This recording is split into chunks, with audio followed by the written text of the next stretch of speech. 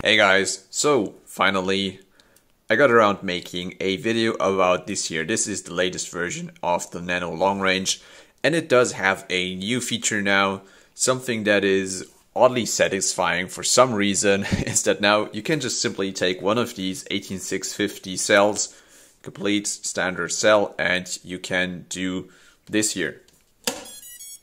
You can just pop it in and you have your quad working.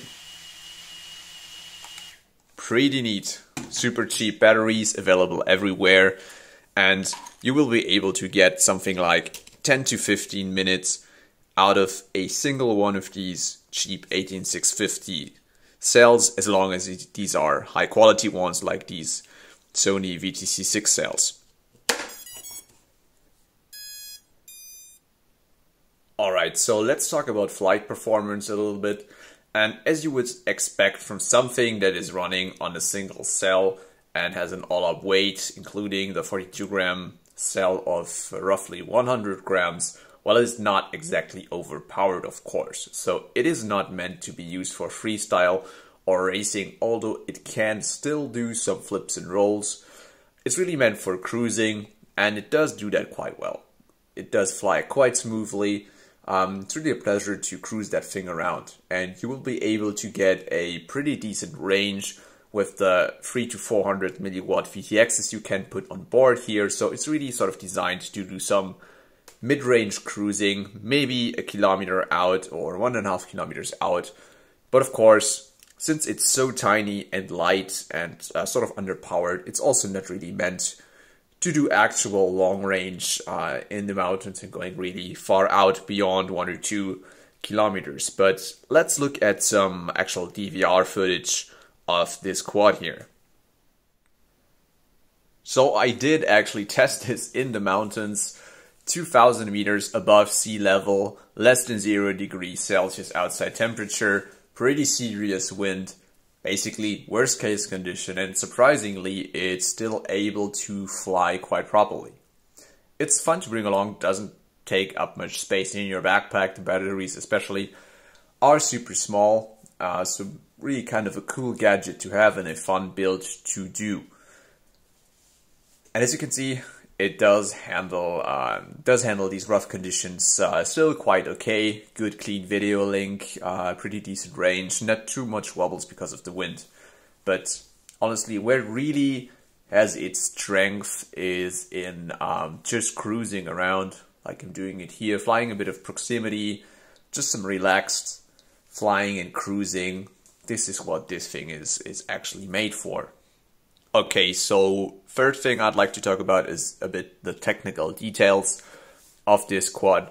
So basically, the basic drivetrain this thing has is really standard 1S toothpick equipment, like on this 1S toothpick here, for example. So these are 1202.5 11,000 kV motors. These are from HGLRC. Try to get them in focus. So tiny 1202.5 motors here, 3 inch Gemfan props, a all-in-one flight controller and uh, ESC, and that's about it. Really basic 1S drivetrain. The difference is, so the difference to one of these 1S toothpicks here is that we do have a separate 350 milliwatt VTX, which will allow us to get a decent range. And the other difference is that since we are running on these lithium ion cells here, we have to go down to 2.5 volt of um, cell voltage here to really use all the 3000 milliamp hours of capacity they have. On a lithium polymer, in contrast, we would only go down to 3.5 volts. So this is an issue since basically the 5 volt circuit on the flight controller isn't designed to go down to uh, 2.5 volt input. So it will tend to collapse um, at around 3 volts and your camera and or VTX will start to shut down. But the good news is it's actually quite easy to avoid that issue. So if we take up the take off the little cover here and look at the electronics that are inside of this, So we do have an extra component you would not typically find on any um, any 1S toothpick and this is a step up here. So this will convert the input voltage of the battery to 5 volts. So what this does is basically feed the VTX, which is here, this is the video transmitter. So there is one of these step-ups basically in the flight controller feeding um, the internal circuit, internal 5 volt circuit of the flight controller and the camera and the receiver here, the crossfire receiver, but it's not feeding the VTX. So the video transmitter is running off this separate step up here, which means that the amp draw on each of these two 5 volt circuits is quite low. And if you keep the amp draw low, so decouple the high amp draw VTX from the 5 volt circuit of the flight controller and feed it with this quite beefy 5 volt step up here. These 5 volt circuits here will be able to go lower than 3 volts. I pushed them up to 2.1 volts. Usually, depending a bit on the output power of your VTX, it does work uh, down to a bit less than 2.5 volts, so quite exactly what we need to really harness the entire capacity of the lithium ion packs.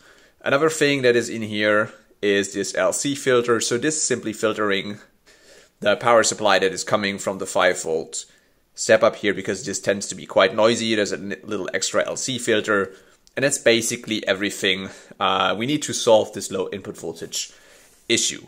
Um, the wiring diagram is on Thingiverse, so you'll be able to look up how to exactly connect all of that stuff here to basically make it work with the lithium ion batteries.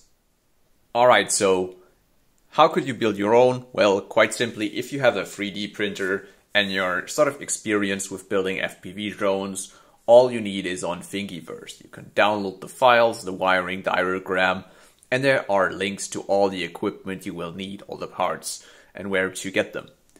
I would not recommend this build to total newbies because well, honestly, if you look at this uh, here a bit closer up, these are very small components. It's super tiny and the soldering really isn't super easy if you just look at the VTX here, these small soldering points, here the motor wires, this is all very, very tiny and I think it might be a bit frustrating if you're really only starting off with the hobby and learning how to solder and put together these FPV quads.